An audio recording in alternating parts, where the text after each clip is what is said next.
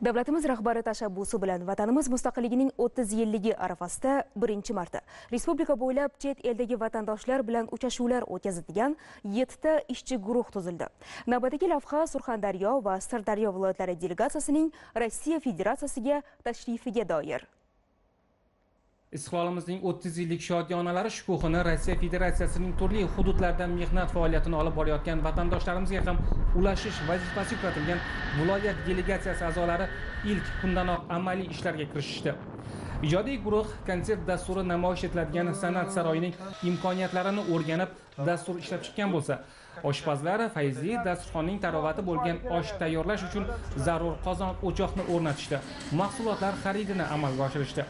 E'tiborli va quvonarli jihati shundaki, yirik gipermarketlar rastasidan nafaqat yurtimiz poliz mahsulotlari o'rin olgan, balki sarxil mevalarimizni ham ko'rib shukronaligimiz chandon oshdi. Surxondaryo viloyati hokimligi delegatsiyasi a'zolari tomonidan yozilgan dasturxon atrofida hududda mehnat faoliyatini olib borayotgan yurtdoshlarimiz jam bo'lishdi.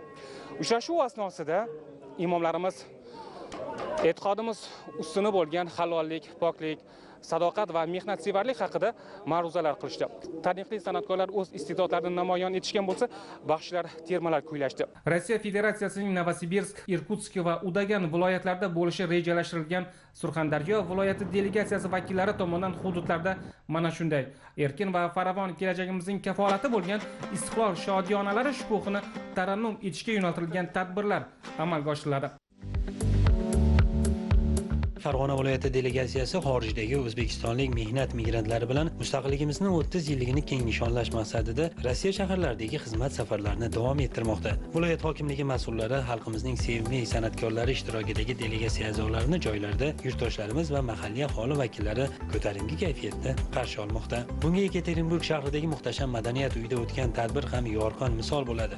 Shu kuni vatandoshlar bilan uchrashish zalvorini chin qalbdan his qilayotgan san'atkorlar muhim uchrashuvga puxta hozirlik ko'rdilar. Anjumanda so'z olganlar esa O'zbekistonda olib borilayotgan islohotlar ko'lami, fuqarolarimiz qay yurtda bo'lmasin, doimo e'tiborda ekanliklari haqida to'xtaldilar. Ikki davlat o'rtasidagi hamkorlik munosabatlari mustahkamlanib borayotganligini ta'kidlashdi. Bir-birimizni ko'rib, judayam mehrga to'lib, hamma sog'inchlar chiqib, judayam a'lo kayfiyatdamiz.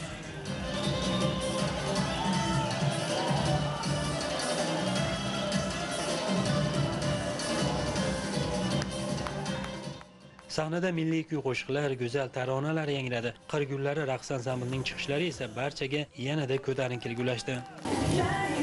O'zbekiston, O'zbekistonim jannatim.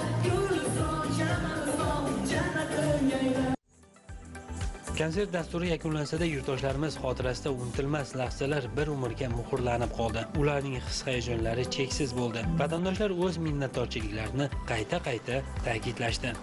Kayfiyatlar yaxshi, konsertlar zo'r o'tdi. Rahmat, prezidentimizga rahmat. yurganda bo'ldik, yashanglar. qildik, rahmat hammasi uchun. Tadbirdan so'ng tayyorlangan milliy taomimiz palov tarqatildi.